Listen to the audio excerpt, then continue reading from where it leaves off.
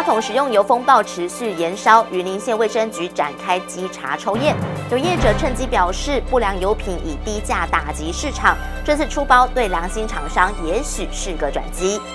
台中瑞景国小的开心农场有民众会偷偷帮忙除草浇水，校方特别将农场扩大，欢迎大家来同乐。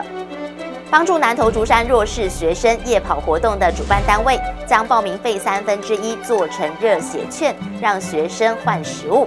更多精彩的新闻内容，请锁定十月二十一号的中台湾生活网。